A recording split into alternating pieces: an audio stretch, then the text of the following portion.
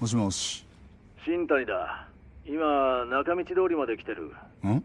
あ未条例って喫茶店があるな。そこで待ってる。あおいまた急な呼び出しだな。新谷先生。文句言うなよ忙しいのが好きなんだろお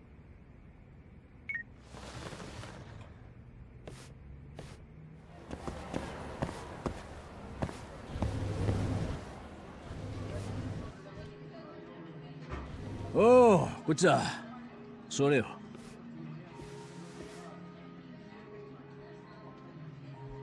というわけでサウナ御殿の周り聞き込んだんだけどやっぱ頭のアリバイを証明できる証言は取れなかった。分かった。よし。でそっちが俺を呼びつけた理由は何？新しい情報が入ったんだ。まこいつを見ろ警察がマスコミに公開してな。例のアムール前の防犯カメラ映像だ。羽村も被害者の久米もバッチリ映ってたよ。事件前に頭と久米が揉めてた映像ってことか。警察はそんなの掴んでたんだな。いいか？再生するぞ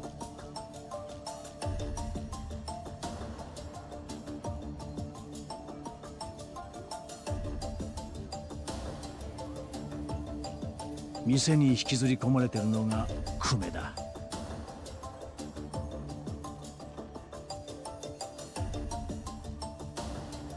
この画面の端を逃げていくのが久米の兄貴分ってやつか。ああ名前も分かった。村瀬明。久米と同じ協励会の組員だ。警察の取り調べを受けた後今もカムロ町にいるらしい。多分近くに協励会のアジトがあるんだな。よく撮れてるなこの映像。これじゃあ頭も言い訳しようがない。ああそれにまだ続きがある。さっきのから1時間後の映像だ。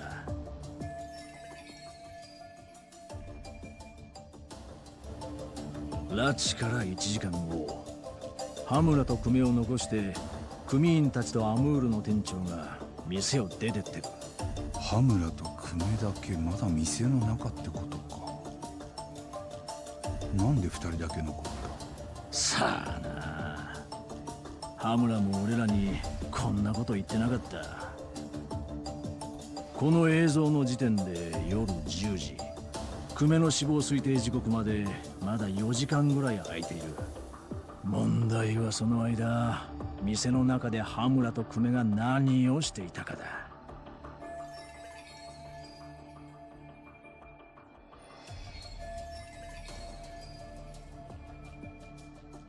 頭は確か12時頃久米を店から叩き出したと言ってたのその時自分も店を出てサウナに行ったと。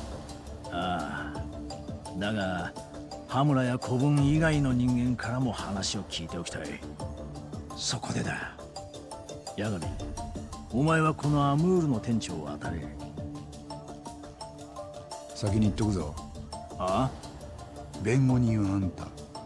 裁判にどんな調べが必要か決めるのもあんただ。それでも調査のやり方は俺が決める。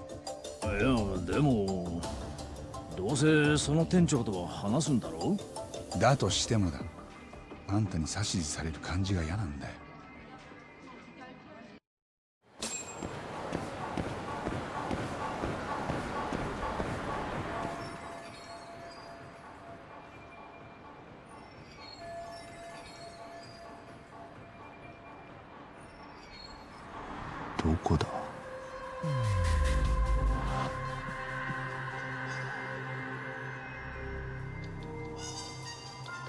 ん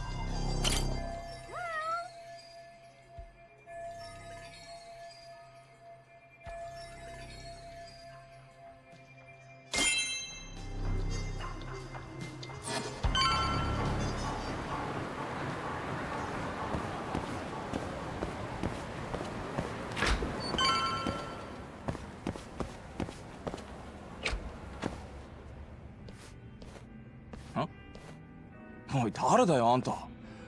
ここで何してんの？いや少し話を聞きたくてね。今いいかな？はい？12月3日の事件のこと。ああ俺その日いなかったんだよね。聞くなら店長に頼んますよ。夜まで来ねえけど。その店長ってこの人？ああそうそう。店長の名前は？新垣連絡つかないかな？少し話したい。迷惑かけないよ。どうかな？ちょっと待って。やっぱ携帯切ってるわ。あの人昼間はいっつもそう。大抵はこの辺で遊び回ってんだけどな。カムロ町にはいるわけか。大抵は。分かった。じゃあちょっと探してみるよ。そりゃいいけどどうやって？街中歩き回って？一つ心当たりがあってね。こういう人探しのうまいやつがいる。店長の名前と顔は分かってるわけだしダメでもともとだ。はあ。そんな人はいんの？まあ頑張ってよ。ありがとな。助かった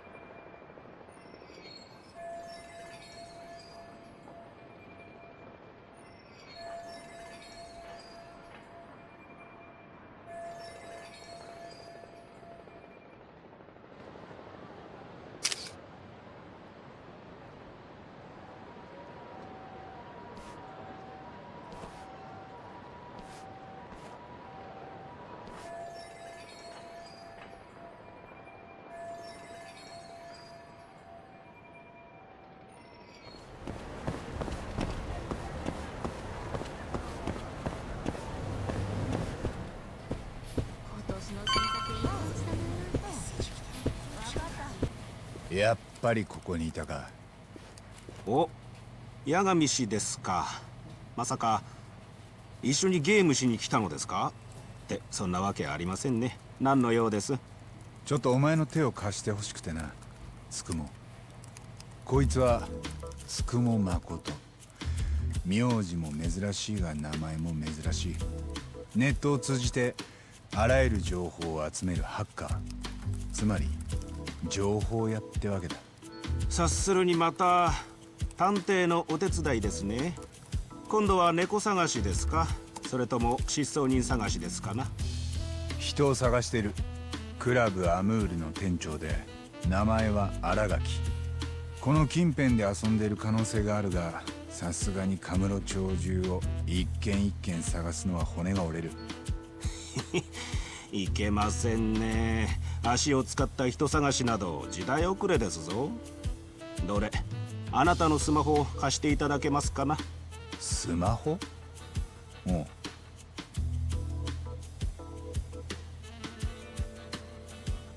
おや。おやおやおや？八神氏ユッターのアプリ入れてるではないですか。言ったああ例のつぶやきアプリか。ところがこの僕の手にかかればこいつも人探しツールに早変わりなのです。本当か？どうやるんだシステムに侵入しますので少々お待ちを。これでよし。八神氏この画面を見てくだされ。試しに何か検索ワードを入れてみましょう。まずは名前からですかな。じゃあ新垣。次は検索期間を狭めてみましょうとりあえず今日と。ほらこのように誰かがユッターでつぶやいた場所が地図上で確認できるのです。まあそのためには管理者権限でシステムに侵入する必要があるのですがね。へえ。うーんしかし128件ですか。もうちょっと絞り込まないといけませんな。って言われてもなでは知っていることを何でも入れてみましょうか。八神氏先ほど店の名前を言っていましたね。カムロ町のクラブアムール。では新垣クラブアムールで検索してみましょう。ほら見てくだされ。一つに絞れましたぞ。これが新垣のつぶやきなのか？いえいえ彼に関する目撃談ですですが大きな手がかりになるはずです。何せこれは10分前のつぶやきですからこの人はまだ近くにいる可能性があります。つまりこの人のもとにすぐさま向かい新垣氏がどっちに行ったか聞いてみればいい。本当か。それじゃあ今すぐ行ってくる。八神氏あなたのマップアプリにもつぶやき地点をマークしておきました。有効活用してくだされああ助かった。たまには外に出ろよ。出るわけないじゃないですか。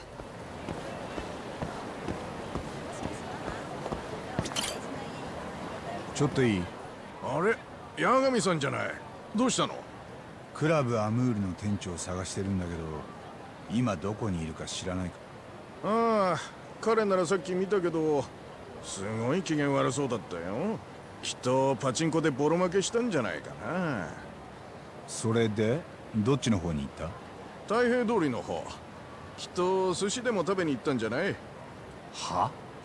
寿司？パチンコ負けたんだろ？なんでそんな豪勢な飯食うんだ分かってないな。負けた時だからこそ気晴らしに寿司なんだよ。